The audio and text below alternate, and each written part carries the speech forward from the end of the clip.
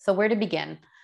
So, we want to increase mind body activities, including mindfulness and self compassion practices, the grounding, the stabilization practices we did, stepping away from things that cause anticipatory anxiety, like the summer may be even worse.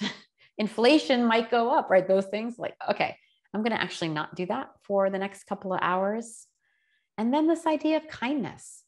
And if you're feeling more capacitated today, maybe reaching out to someone who's struggling, a friend or a colleague, that helps us have more compassion for ourselves and for others.